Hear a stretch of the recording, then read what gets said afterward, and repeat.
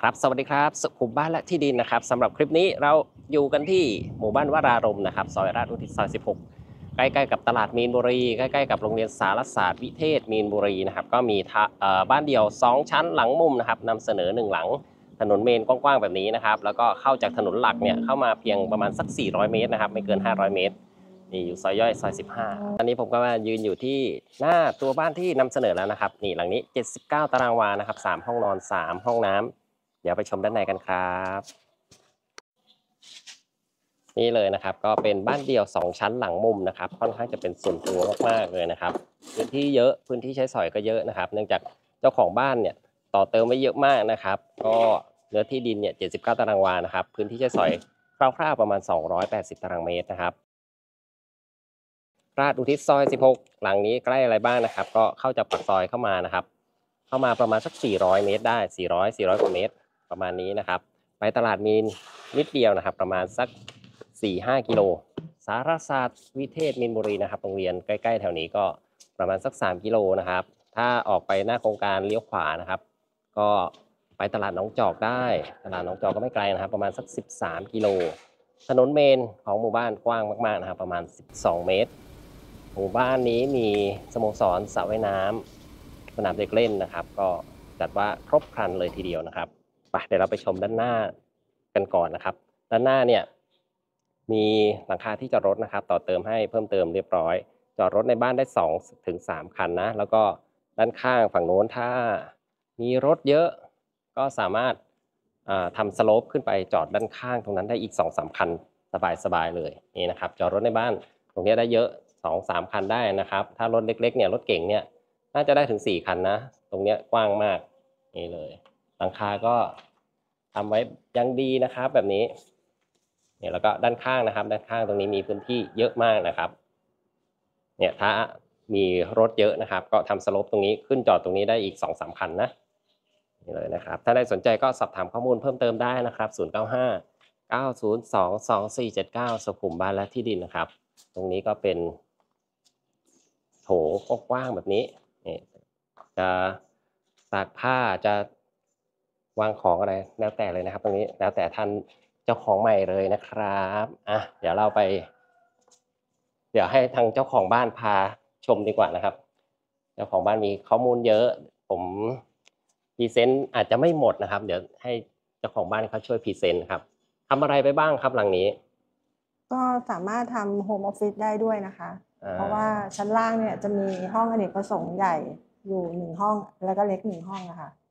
อ่าก็จริงๆก็มันมีทั้งหมดสี่ห้องเนาะสามห้องนอนชั้นบนแล้วก็ห้องอเนกประสงค์สองห้องข้างล่างห้องค่ะสองห้องล่างค่ะโอเคครับไปเดี๋ยวเราไปดูข้างในกันนี่เลยก็รีโนเวทให้แล้วสวยๆนะครับครัวเนี่ยท่านใดที่ชอบทำอาหารนะครับ หลังนี้ผมว่าตอบโจทย์ได้แน่นอนนะครับ มีครัวถึงสามครัวนะอ่าเอาไปดูห้องอเนกประสงค์ก่อนนะครับนี่ตรงนี้จะทำเป็นห้องนอน หรือจะทำเป็นออฟฟิศก็ได้นะครับ ห้องใหญ่มากนะครับ ห้องเนี้ยขนาดเจ็ดคูณสี่อะค่ะเจ็ดคูณสี่เมตรนะครับเจ็ดสี่ยี่สิบแปดตารางเมตรอะโอเค ก็โถงชั้นล่างอะตรงนี้นะครับ จะมีทางนี้ก็จะเป็นอีกหนึ่งห้องอะค่ะ สามารถทำเป็นห้องปิดได้เอาประตูสำเร็จใส่ได้เลยกั้นห้องได้โอเคครับ แล้วก็จะมีทางนี้เป็นโซนรับแขกอ่าฝั่งนี้ก็จะเป็นโซนห้องรับแขกนะครับ ฝ้าก็ทำเป็นฝ้าฉาบเรียบเล่นระดับไว้แบบนี้นะครับ พื้น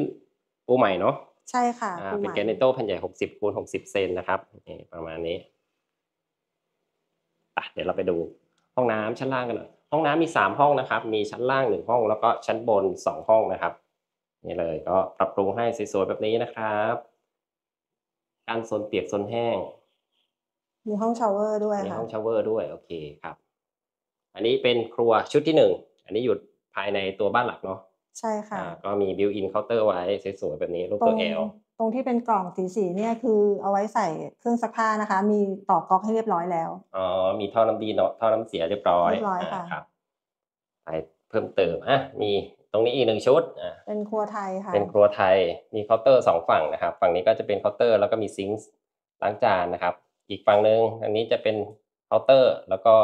เตาแก๊ส มีเครื่องดูดควันไว้เรียบร้อย มีพัดลมระบายอากาศ ช่วยดูดอีกตัวหนึ่งด้วยอ่าแล้วก็ด้านหลังตรงนี้ก็มีเป็นต่อครัวเติมไทยเพิ่มนะครับ เป็นครัวไทยนะครับ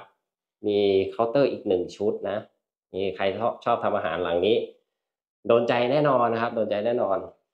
หูดูดควันมีสองตัวเนาะมีชุดนี้ตัวหนึ่งแล้วก็ชุดข้างในตัวหนึ่งนะครับค่ะอ่าซิงค์ล้างจานตรงนี้ก็จะมีอีก สามารถเอ่อซักผ้าได้อีกเครื่องหนึ่งเครื่องซักผ้าค่ะ อืม ตรงนี้ก็ ต่อ เอาไว้ติดตั้งเครื่องซักซักผ้าผ้าได้ค่ะสบายตู้เย็นวางไว้ได้หลังใหญ่ๆแบบนี้ค่ะโอเค เดี๋ยวเราไปดูชั้นสองกันต่อได้นะครับ นี่บันไดเป็นพื้นไม้แบบนี้กว้างๆเลย ก็วนนิดนึงนะบันไดนะครับ ขึ้นมาถึงชั้นสองก็จะมีห้องโถงโล่งๆตรงนี้ จริงๆตรงนี้กั้นห้องได้อีกหนึ่งห้องนะเอ่อกว้างมากนะครับ ห้องนี้ อ่าขึ้นมาก็ เดินขึ้นบันไดมาพื้นชั้นบนเนี่ยเป็นปาร์เกต์ไม้นะครับเลี้ยวซ้ายก็จะเป็นห้อง master bedroom ของหลังนี้บ้านหลังนี้หันหน้าทิศตะวันตกเฉียงเหนือนะครับนี่ก็ห้อง bedroom ก็ master bedroom ก็ห้องใหญ่ ๆ แบบนี้เลย ห้อง master bedroom นะครับ ก็มีห้องน้ำส่วนตัวนะครับนี่เลย ก็มีกั้นโซนเปียกโซนแห้ง แล้วก็มีกั้นห้อง shower ไว้เหมือนกันนะครับ แบบนี้สวยหรูดูดีนะครับนี่ นี่ก็จะเป็นประตูเปิดออกไปก็เป็น terrace ด้านหน้านะครับ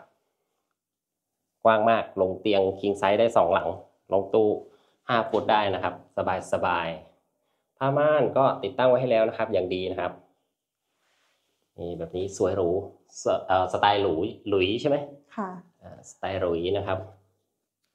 ถัดมาก็จะเป็นห้องนอนที่สองกับห้องนอนที่สามนะครับ อยู่ฝั่งซ้ายกับฝั่งขวา แล้วก็ ตรงกลางเนี่ยเป็นห้องน้ำนะครับ ใช้ร่วมกันมีประตูทะลุนะครับ ห้องน้ำก็เหมือนเป็นห้องน้ำส่วนตัวของห้องนอนที่สองห้องนอนที่สามนะครับนี่อะดูห้องนี้นะครับ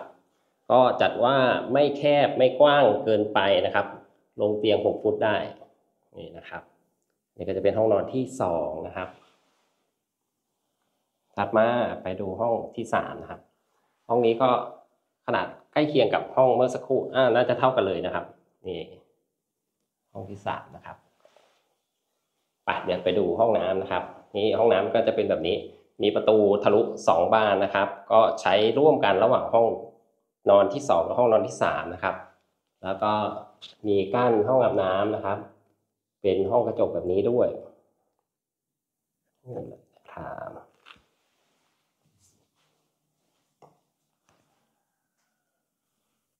ก็สำหรับท่านใดที่กำลังมองหาซื้อบ้านระแวกนี้นะครับ แถวแถวใกล้ๆตลาดมีนบุรี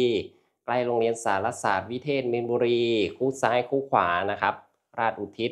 เรียบวารี ประชาร่วมใจนะครับ ก็ลองแวะเวียนมาเยี่ยมชมหลังนี้ได้นะครับ หมู่บ้านวรารมซอยราชอุทิศซอย 16 นะครับ ก็สำหรับบ้านสวยๆหลังนี้ก็ฝากไว้ด้วยแล้วกันนะครับ นัดชมบ้านได้ทุกวันนะครับล่วงหน้าให้ผมสัก 1 วันนะครับก็สำหรับรีวิว บ้านหลังนี้ก็ขอจบรายงานเพียงเท่านี้นะคะฝากกดไลค์กดแชร์แล้วก็อย่าลืมกด subscribe กดกระดิ่งช่องของผมไปด้วยนะครับผมจะมีรีวิวบ้านคอนโดที่ดิน อัปเดตให้ชมเป็นประจำนะครับสำหรับคลิปนี้ ขอตัวลาไปก่อนนะครับ สวัสดีครับ บ๊ายบาย